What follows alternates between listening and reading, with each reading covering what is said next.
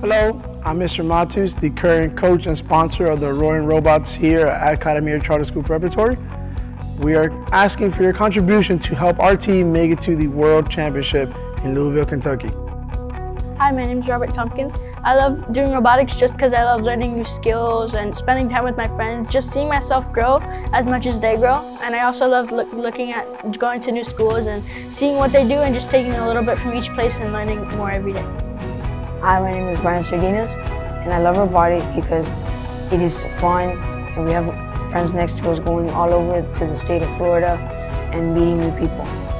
Want to win the award in Kentucky because I've worked so hard this season and so have my friends. I just want to earn it for them because I don't want all their hard work and practice just to go in vain.